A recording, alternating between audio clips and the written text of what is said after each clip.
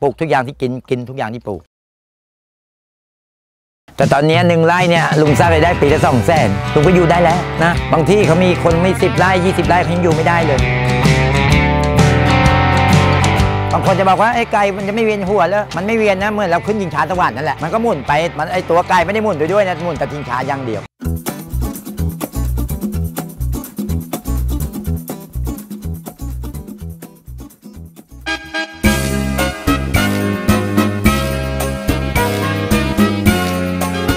นี่นี่คือนวลละออโอ้นวลละอองน้องจานเนียมอายไปทำไม หันมาไกลๆสิจะอายไปไหนกันไก่ก็จะร้องอุ้ยไม่เอา อุ้ยไม่เอาคนรู้ทัน น้องอายพระจันทร์ดูท่านกำลังมองอะเดี๋ยวขอใครนะนวลละออข้างในนี่กินแล้วอารมณ์ดีด้วยเพราะไก่ไม่เครียดนะไก่อารมณ์ดีพอเรากินใครที่อารมณ์ดีเราก็อารมณ์ดีไปด้วย เริ่มจากตอนแรกก็ไปทำงานไปเป็นมนุษย์เงินเดือนมา 18 ปี ออกกลับมาแล้วก็ไปกู้หนี้ยืมสินก็มามาเช่าที่เตียไร่หนึ่งทำมาหากิน เริ่มแรกเลยลุงเลี้ยงปลาช่อนในร่องสวนแล้วก็มาเลี้ยงไก่ในกรงตาบแล้วก็มาเลี้ยงเห็ดหูหนูมาเลี้ยงเป็ดไล่ทุ่งตียางในภายในสองปี ท่านเคยยินคำว่าเจ๊งไหมฮะเจ๊งหมดเลยเพราะเจ๊งเลยเป็นหนี้4ี่แสนกว่าบาทอ่าเงินใช้หนี้เขาไม่ทันนะ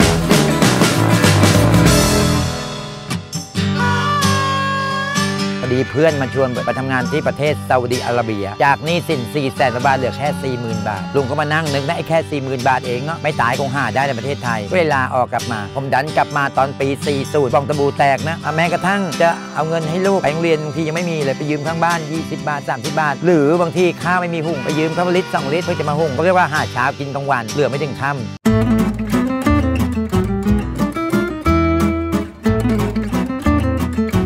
ที่มาทำตรงนี้ได้ก็พอดีเตียยกที่ให้ไร่หนึ่งพอดีก็ไปเอา concept ของพระองค์ท่านรัชกาลที่9นะอ่าหนึ่งไร่หนึ่งแสนก็เลยต้องออกไปหาความรู้ก่อน ปี 2547 เดือนเมษายนลุงปิดประตูตัวเองเลย พอแล้วความรู้ไปหามาก็เยอะแล้ว ลงมือทำได้แล้ว ท่านบอกให้ลงมือทำมันถึงจะเจอโจทย์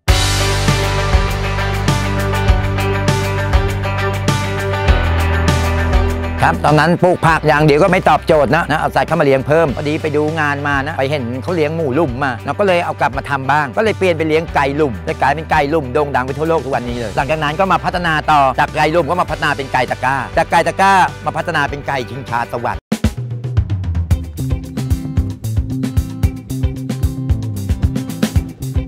เนี่ยไก่ชิงช้าสวรรค์เราจะทำที่แฟนไว้แล้วเช้ามาเนี่ยกิจกรรมของเราเนี่ยเราก็จะเปิดล็อกเนี่ยเราก็จะหมุนเพื่อเก็บไข่ให้อาหารล้างที่ บางคนจะบอกว่าไอ้ไก่มันจะไม่เวียนหัวแล้วมันไม่เวียนนะเมื่อเราขึ้นชิงช้าสวรรค์นั่นแหละมันก็หมุนไปมันไอ้ตัวไก่ไม่ได้หมุนไปด้วยนะหมุนแต่ชิงช้าอย่างเดียวเอาวันนี้ก็เช้านี้วันนี้ตัวนี้ขึ้นข้างบนอีกตัวหนึงก็ลงข้างล่างก็สลับกันไปแบบนี้เนี่ยเก็บไข่ให้อาหารล้างขี้ให้น้ำเขา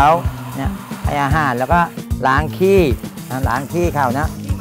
อ่าขี้ก็ได้เขาบอกแก๊สเช้ากลางวันเย็นเราใช้ได้หมดเลยนะทีนี้พอมาอยู่ติงชานสวรรค์เนี่ยก็ตอบโจทย์ตรงไหนหนึ่งใช้เนื้อที่อย่างประหยัดสองเช้ามาแล้วก็เช้าเย็นมาเราล้างขี้ของเขาอ่าไล่เขาไปหมักเป็นแก๊สใช้ในครัวเรือนอ่าสามก็ได้ไข่เขาด้วยอ่าสี่ไก่ก็อารมดีด้วยไม่ยืนอยู่กับที่ไม่ต้องไปไหนนะใช้เนื้อที่อย่างประหยัดที่สุดเนี่ยแล้วก็เลยออกมาเป็นนวัตกรรมในการเลี้ยงไก่เนี่ยถึงได้ว่าบริบททำอะไรก็แล้วแต่อย่าให้ได้แค่อย่างเดี๋ยวมันไม่คุ้มเดี๋ยวตัวต่อไปเนี่ยที่ลงคิดมาในใจเนี่ยจะมีอ่าไก่ลางก็เช่นกันนะยืนอยู่กับที่แล้วก็หมุนไปเรื่อย ตั้งชื่อให้ทุกตัวเลยไก่ก็ต้องมีชื่อเหมือนกันนะ เดี๋ยวไปดูว่าตัวไหนชื่ออะไรกันบ้าง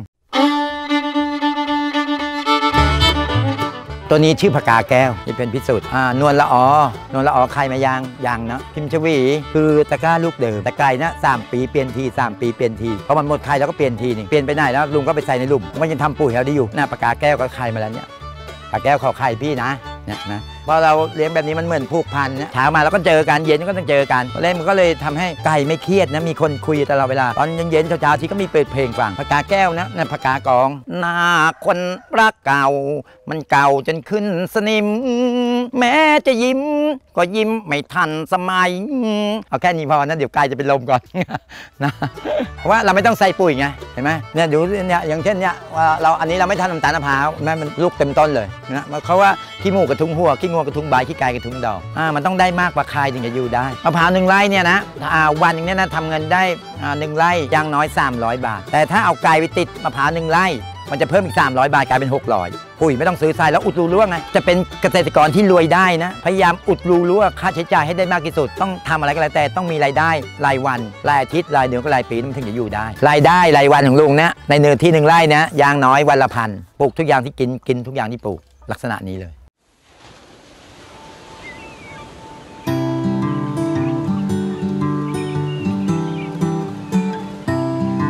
สิ่งสำคัญนี่ก็คือความสุขเรื่องเงินทองเดี๋ยวจะตามมาเอง ไม่ต้องห่วงว่าเราจะอยู่แบบทรมานหรือว่าอยู่แบบจนๆหลังจากที่ลุงทำเซโกเพียงตามพระองค์ท่านมาเนี่ยสิ่งที่ภาคภูมิใจมีไหมก็มีเนาะสิ่งหนึ่งที่เราภาคภูมิใจมากคือ แบบที่ลุงบอกนะลุงไม่ได้จบสูงด้วย จบแค่ป .6 โครงการเซโกเพียงเนี่ยของในหลวงนะพระองค์ท่านไม่เคยบอกว่าอายุเท่าไรทำไม่ได้พระองค์ท่านไม่เคยบอกว่าความรู้เท่าไรทำไม่ได้ ถึงแม้ความรู้เราจะน้อยนิดก็อาจพิชิตความยากจนหากดำรงตนตามหลักปรัชญาของสติพอเพียงเท่านี้ทุกคนอยู่ได้กันหมดเลยนะ